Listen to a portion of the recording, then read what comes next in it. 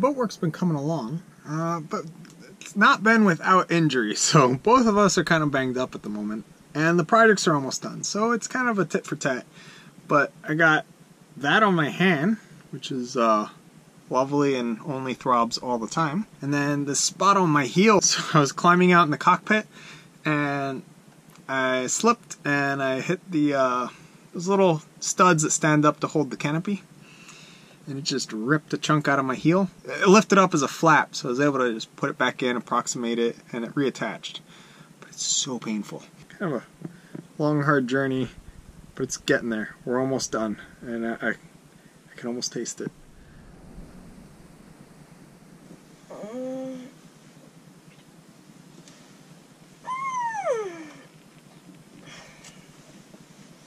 So we're on our friend Scott's boat and it's the first time in a long time that we've been on a boat that was actually in the water.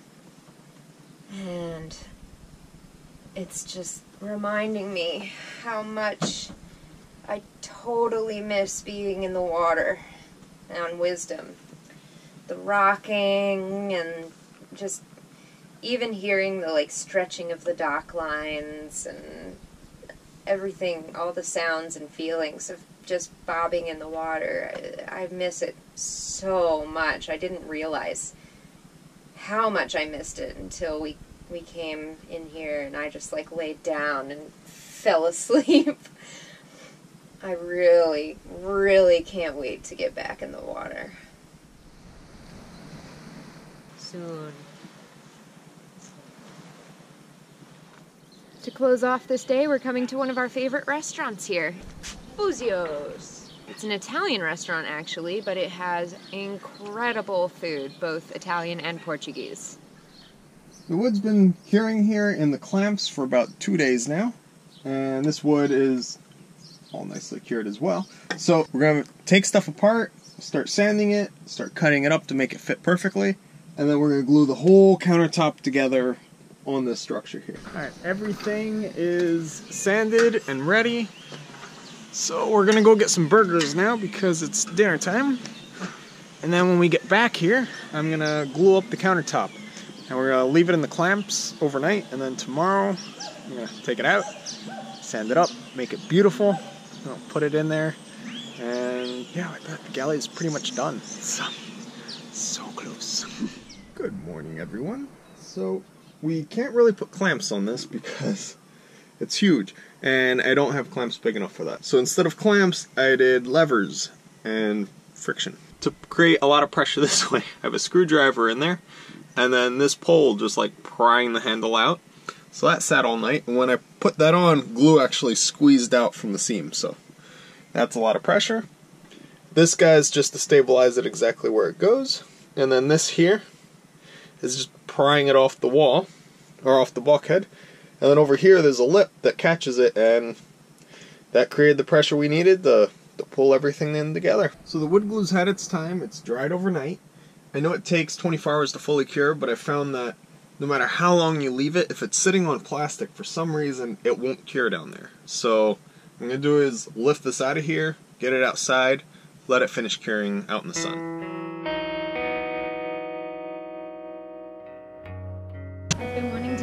This church ever since we arrived here and I see that it's open, so let's see if we can get in.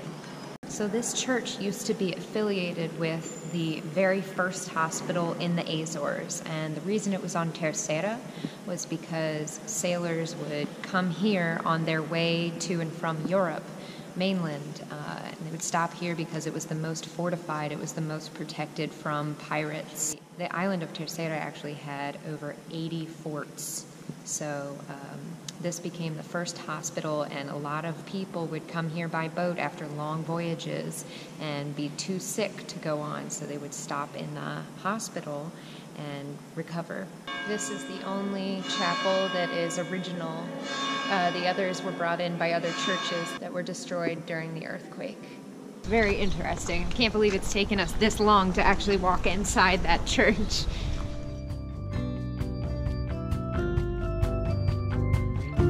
Spring is here.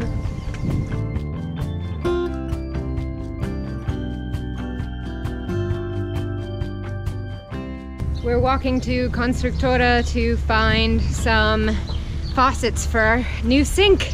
It's all coming together. It's really exciting. This is the unboxing of our new camera equipment. Uh, one of our amazing patrons, Dominic, sent us this gift of a DJI Osmo, and we are so excited for this camera. It has arrived, and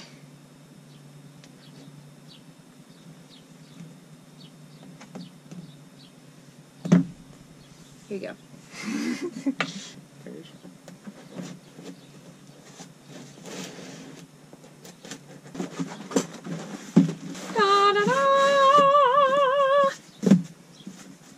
Now that knife. Just put it away. Luckily, my nails are razor blades.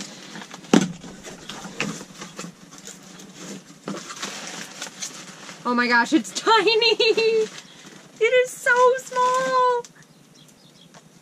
Did you expect it to be this small? No. I, I read that it was the size of a cell phone, but wow. Adorable case it comes in. Oh my god, it's tiny. Oh, it's so cute.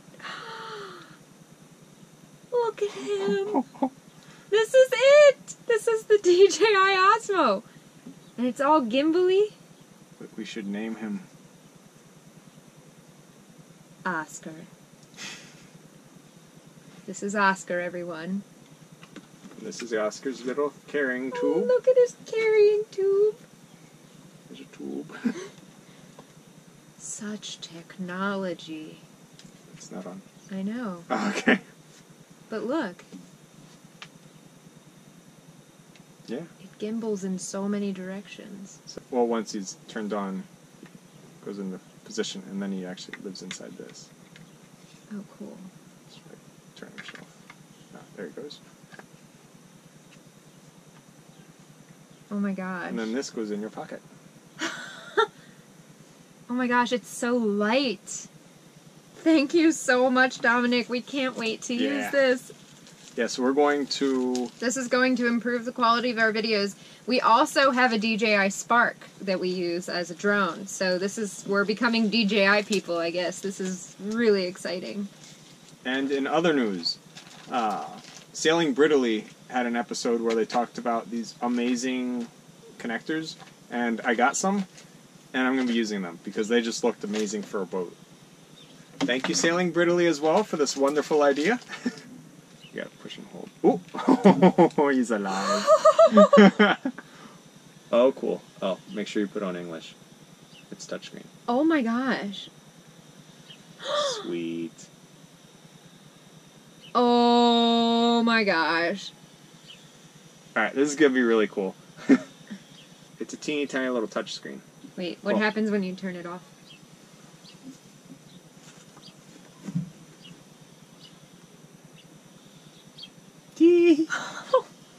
I guess it's storage mode. Oh my gosh. Yeah, that is cool. Oh. Look at that gimbaling. Woo.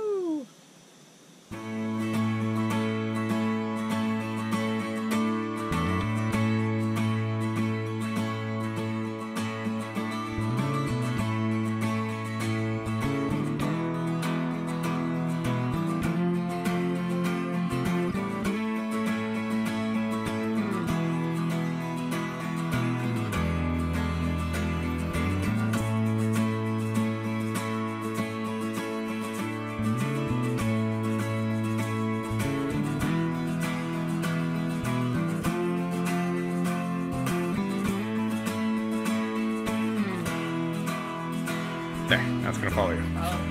Yep. Oh, it's following me. oh my gosh, that's so crazy.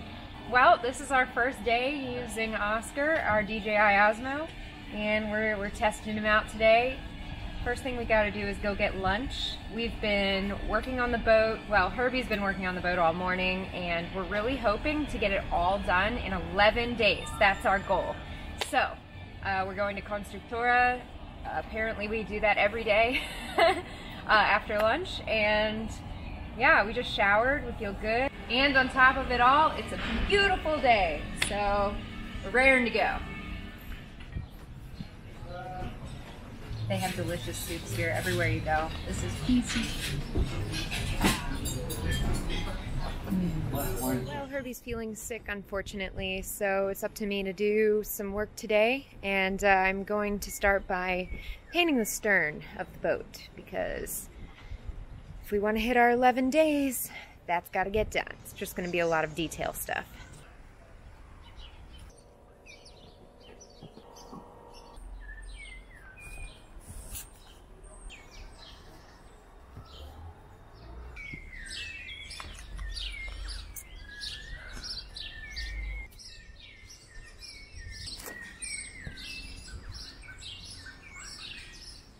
Herby's still sick today, so I'm going to get some brunch, but looks like we've got 10 days left uh, to get the boat done, and Herby being sick is kind of inconvenient right now. Poor guy. Um, but I think he's going to try to work through it a little bit today. And I'm going to do my best to finish the deck painting, and we'll see where that gets us. So frustrating because I uh, I don't know how to do the sink and the things that Herby would have done otherwise. I'm doing a Constructora run as usual. I'm gonna get another faucet to compare and a couple other things. There are two main cities here on Terceira. Um, Angra, which is the one where we live, and Praia, which is a little bit away from it. And today I'm in Praia because I had a doctor's appointment for my eye. My eye, I've been feeling a lot of pain since December, so I just went and got a CAT scan and I'll hear in 12 days. But for now, I am just going to walk back to Scott and Grace's house. It's a beautiful day.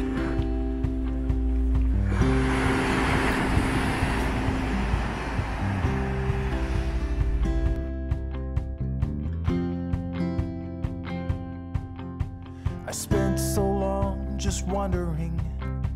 For years I was adrift, directionless and wayward, lost like a swallow on a cliff. But slowly I found purpose and my life became more clear.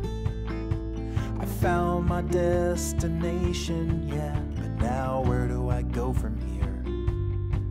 Cause I'm already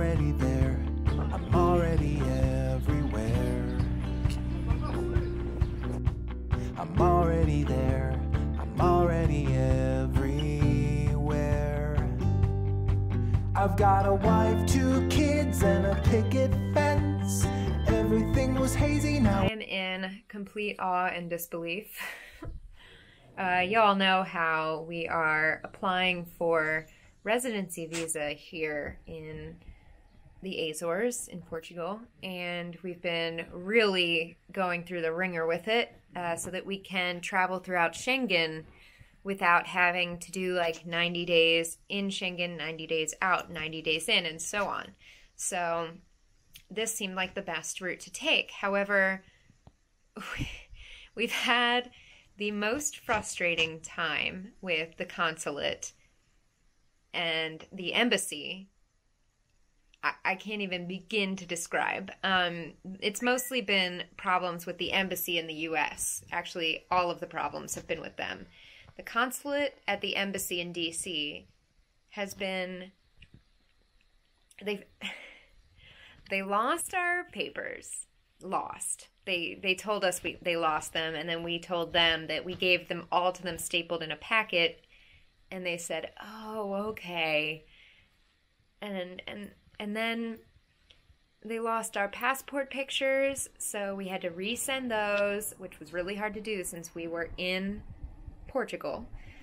And that, now we just got uh, Herby just called me because he's back at the boat working on the galley, and he was visited at the boat by a guy who came from the office saying that we had applied for a work visa. So apparently, the consulate back in the US made it so that we applied for a work visa rather than a residency visa, which is extremely different. And now we're having to deal with all that. I mean, it's just.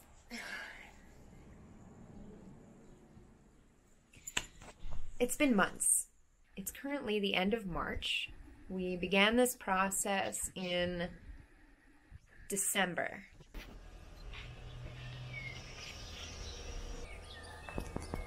I'm going to get some peanut butter. Going on a walk, get some peanut butter. Gonna get some peanut butter. Bye. Bye.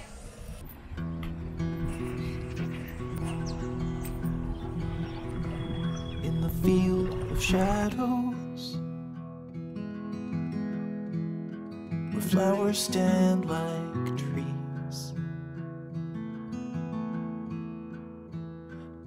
cover of a willow. He got down on his knees.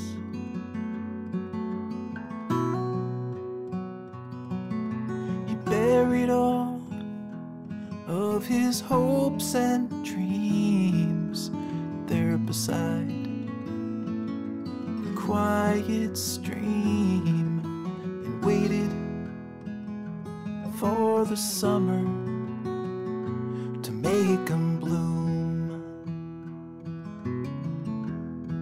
Woo! Covering up the through hole? Yep. Through hole? So we got that lump, but after we're done, or after it cures, we'll sand it. Oh, hi. yeah, so I, I got the through hole covered, so we're gonna let this cure. Once it's done curing, we're gonna sand it, and then we'll ferret it into the hole. And then it's done done. But at least now it's structurally closed, so there's no longer a hole in the hull. This peanut butter was five euros Wow. for this tiny peanut butter. Oh my god. Wow. So enjoy it. Yeah, I guess no more peanut butter for Herby. Yeah. I am washing the dishes in our new sink.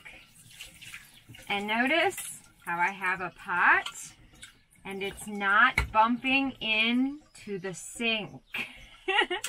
it's magical. This is so exciting.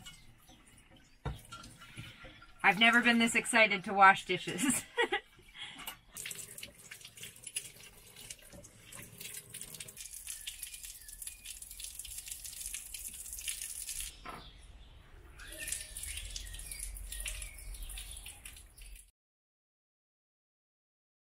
We're gonna start by trying to find a physical therapist for my foot uh, because it's still not as good as it should be at this point. Dropped off our order for Wisdom, Baltimore, Maryland. Wisdom, Wisdom, logo, logo, logo.